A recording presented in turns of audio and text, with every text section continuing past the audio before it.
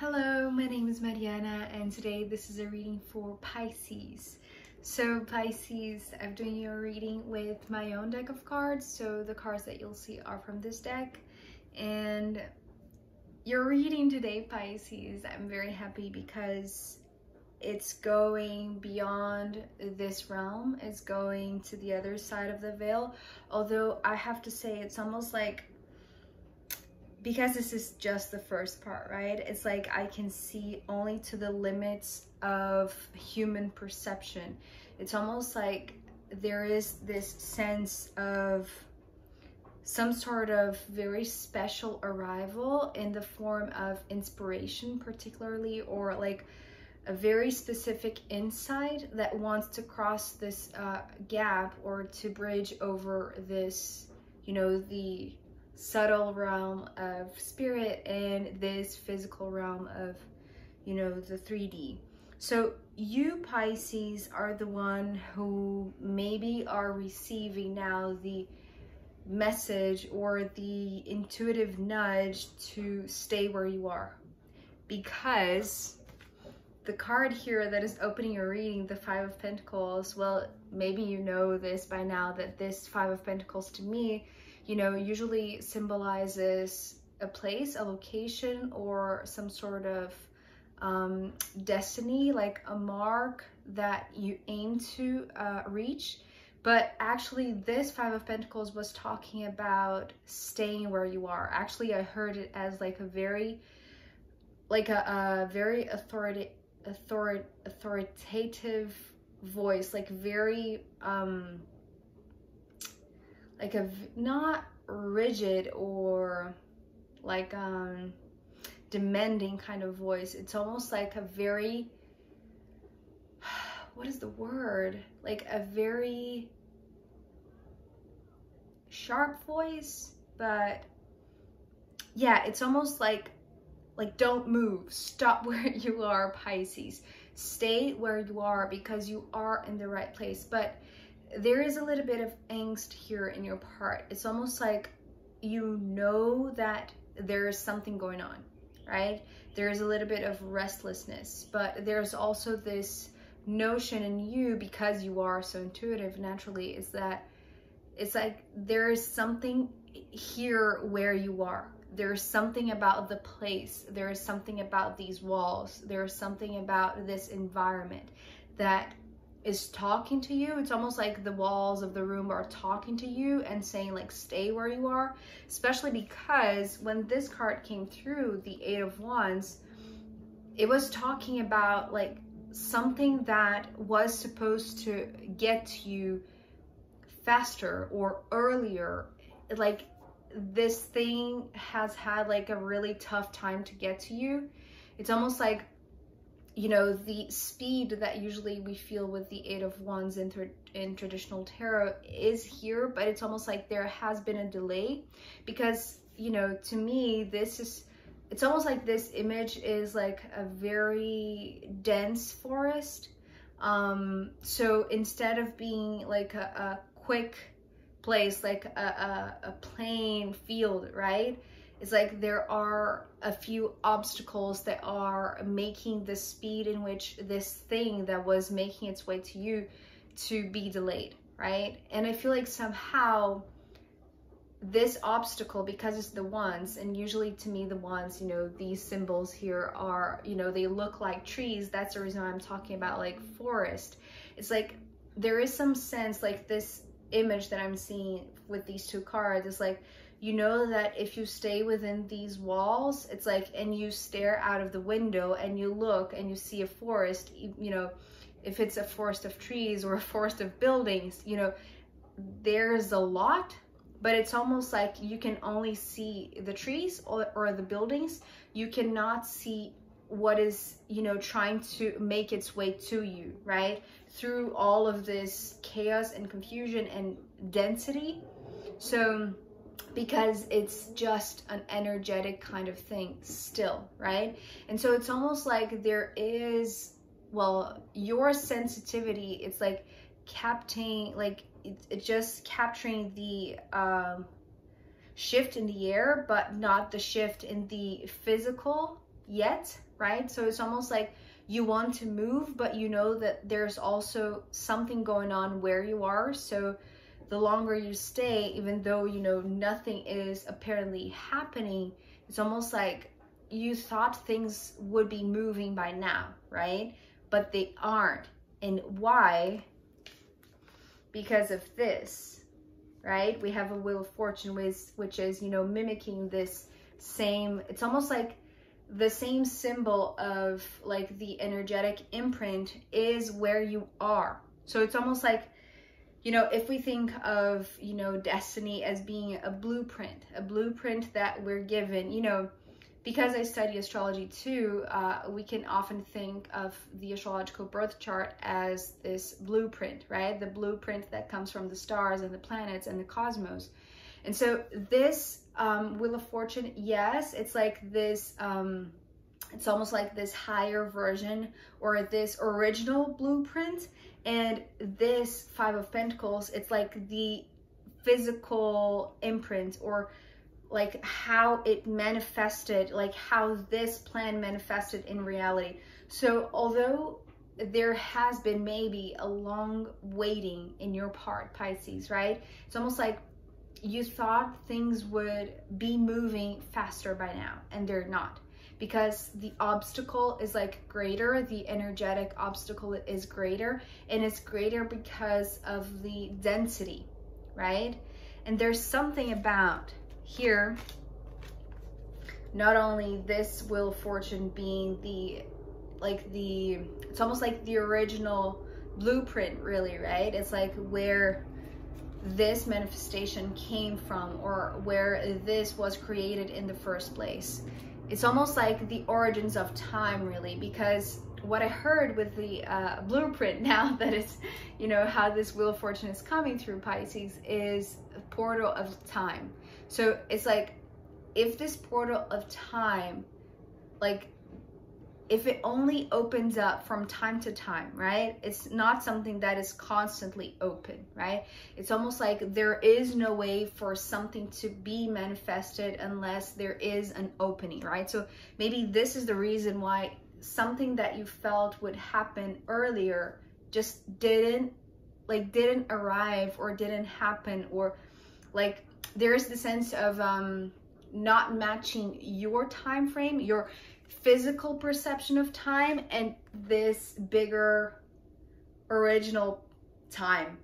What is time, right? The cosmic concept of time. So this portal of time is like, so with the Four of Swords here next, uh, I'm just, you know, it's almost like I am, you know, gapping, uh, trying to bridge this gap here because this is actually the message from the Four of Swords. So it's like here with these two swords and then these two swords, it's almost like this is one side of the veil and this is another side of the veil because the image that I was seeing, it's like two margins of a river, right? So the river is an obstacle in a sense, but it's also the point of junction. If you see what I mean, it's like unless there is a bridge, like the two margins would always be two margins and the river would always be the river. I don't know if I'm making sense at all. I know sometimes things can be simple and obvious, but they are tricky if we think of it like really, really deeply. So what this is talking about is like, it's almost like the portal of time is indicating where the bridge will be, where you are, right? And it's not a physical bridge right? It's almost like, oops. So the perfect point, yes, it is physical, but the opening of it, right? Because swords to me sometimes it's like coming from that subtle realm, right? The spirit realm.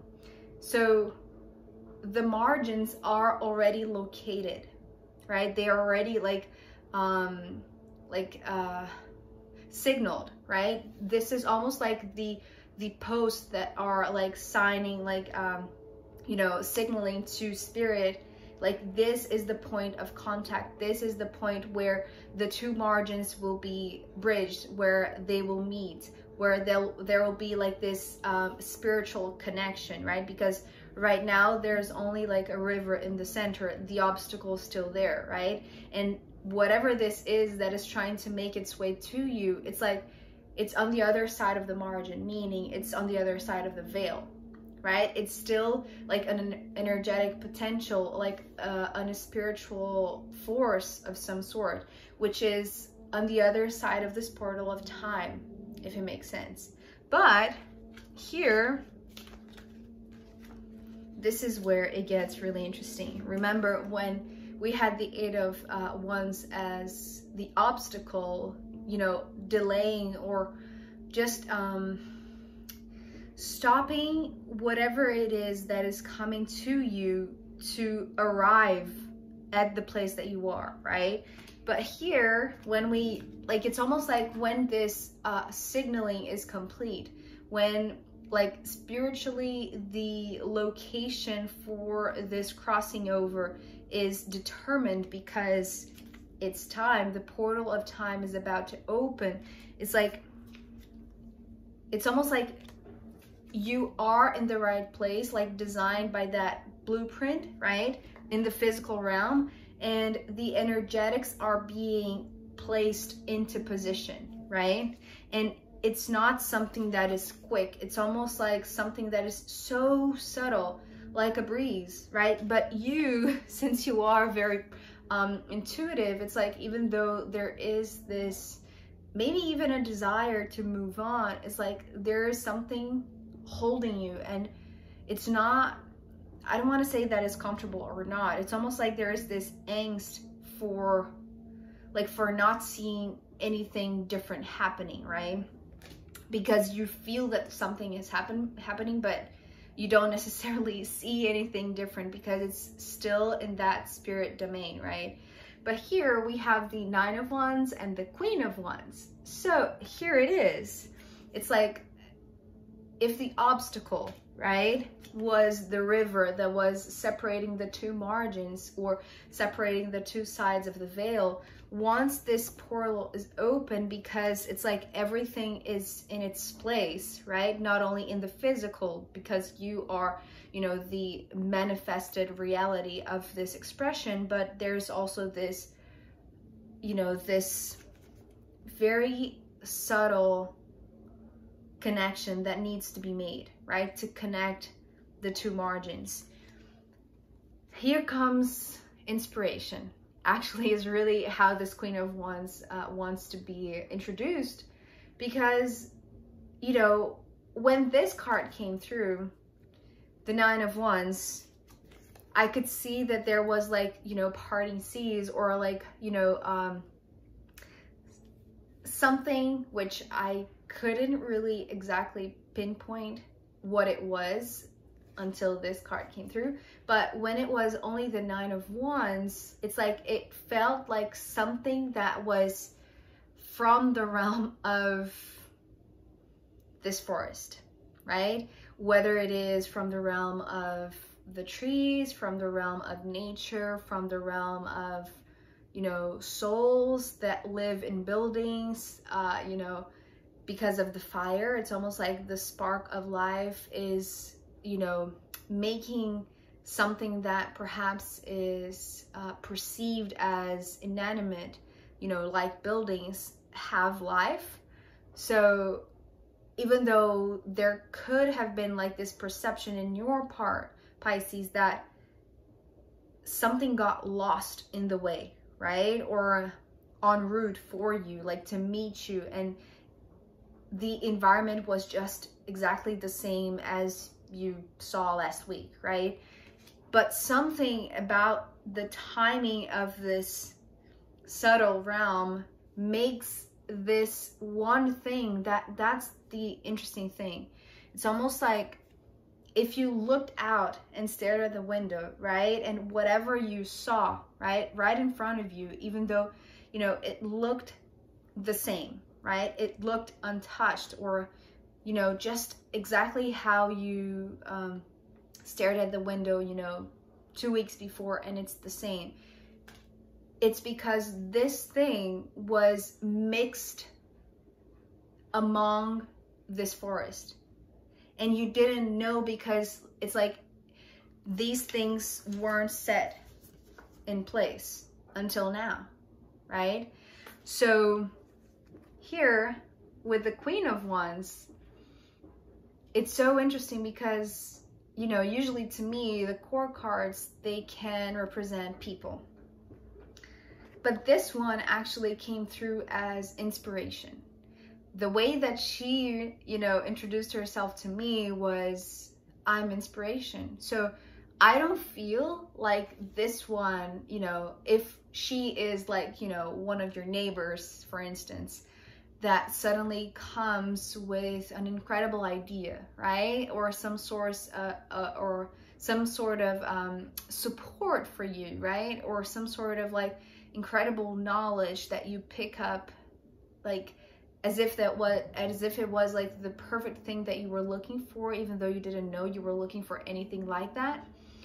So that could be a case, but really, I'm not sensing this Queen of Wands as an embodied person.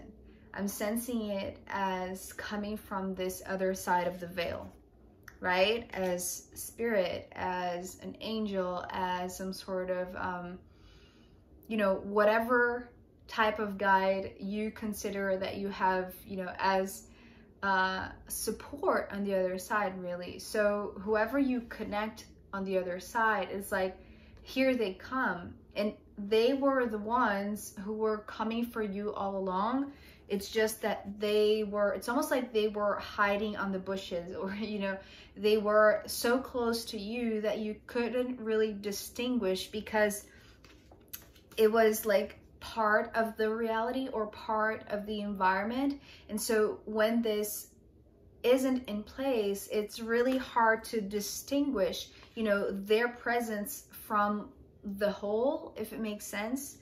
So it's only when all of this like is visible. It's almost like you only see the river when there's a bridge. It's almost like that.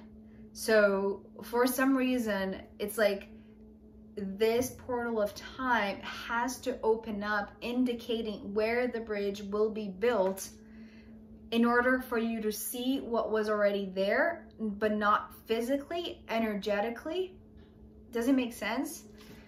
So here, because we're ending with finally the Six of Pentacles, this is really good news for you Pisces. This is a reason actually why I'm so excited because remember when I was talking about like you being a little bit, um, not yeah, okay, maybe a little bit restless here in this Five of Pentacles because it's like you know that there is reason for you to stay here, even though this is not your ultimate goal. It's almost like this is just part of the journey. This is not your destination, right? Or your final destination. It's just one stop along the way.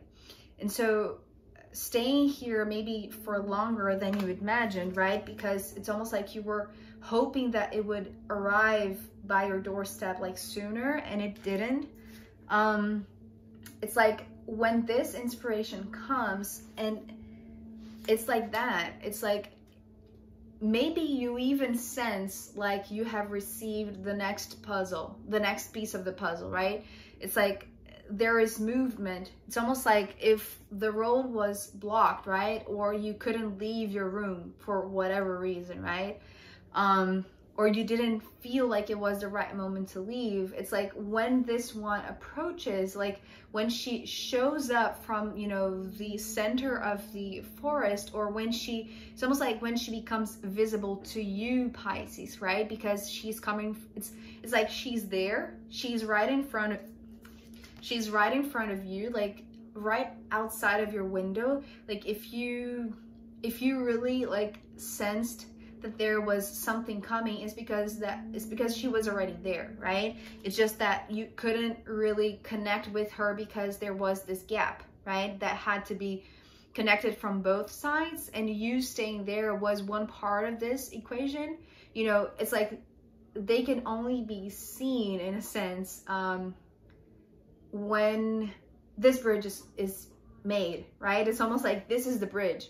This is, but it starts in the spirit realm and then it becomes something that is visible right? So inspiration is coming pisces and it's coming to set you free it's what i just heard.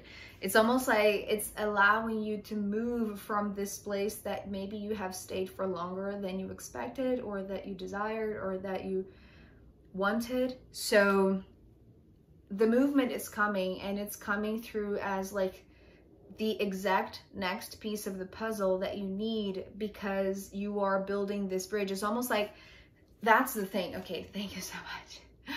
I love when things like become so clear visually to me. So this place that you are, it's like one of the margins of the river, right? You can no longer like you can not go further or even like go backwards, right? Because you know that there is something there for you. But there is a certain limit, like a boundary that you cannot cross this river unless there is a bridge. So it has to be like something that is also meeting you from the other side. And this is the job of the Queen of Wands. It's like, it's almost like they are coming with the perfect inspiration for you to build the bridge because it's the Six of Pentacles. So it's like you, you need to bridge this gap, right? You were the one who were going to bridge something that is in the physical, but with inspiration that is coming, you know, presenting it itself from the other side of the margin, you know, showing like the way to do things or the spark of creativity that is going to allow you to create this and, you know, manifest this in this 3D reality in a sense. So, Pisces, that was a lot more than I was, I was expecting, even though I knew this reading was already like very out there, which I love, by the way. Um, so uh, I'm going to pull more cards for you, Pisces. And also, as you all know, I'm going to pull from the astrological runes in the extended um, as a final guidance for you. So if you want to join me there, I'll be happy to see you. If not, I'll see you next time. Okay, bye.